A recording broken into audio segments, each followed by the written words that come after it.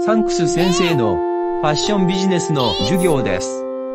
これだけは知っていて欲しいアパレル業界のノウハウを惜しみなくお伝えしています。消費者の購買行動の変化について Z 世代を中心にブランドの理念や価値観に共感しその意味を重視して商品を購入する意味消費という行動が広がっていますアパレル業界でも SDGs やエシカルファッション ESG 経営など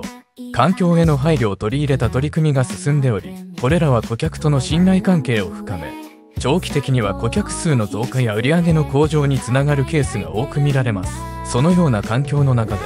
アニマルウェルフェアという考え方が広がりつつあります。アニマルウェルフェアとは日本語で動物福祉を意味します。動物福祉とは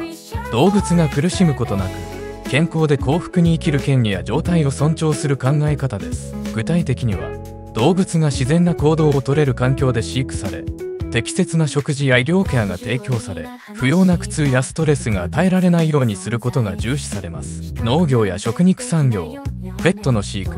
動物実験などの分野でこの動物福祉の理念が適用されることが求められています。アニマルウェルフェアとその広がりアニマルウェルフェアとは動物の痛みやストレスを最小限に抑え健康的で快適な環境を提供することを目的とした考え方です。この概念はイギリスで生まれ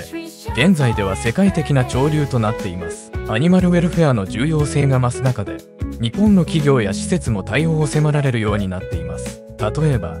上野動物園では老朽化した猿山を改修し動物がストレスを感じずに過ごせる環境を整える取り組みが進められています。また東武動物公園でも動物が隠れる場所や雨を避けるトンネルを設置し動物の福祉に配慮した環境づくりが行われています。この潮流は畜産業にも広がっており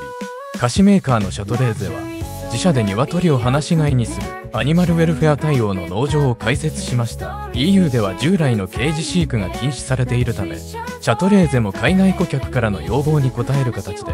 この取り組みを開始しました。この取り組みによりアニマルウェルフェア対応の卵を使用したプリンが販売され売れ行きは好調です。しかしアニマルウェルフェアに対応するにはコストがかかるため全ての商品で対応するのは難しいとされています。そのため企業は消費者のニーズに応じて対応を進めるかどうかを慎重に検討しています。さらに最新の IT 技術を活用した動物のストレス軽減策も進行中です。例えば AI カメラを用いた24時間監視システムが導入され動物に負担をかけずに健康管理を行う取り組みが進められています。このように日本でもアニマルウェルフェアの考え方が広がり始めており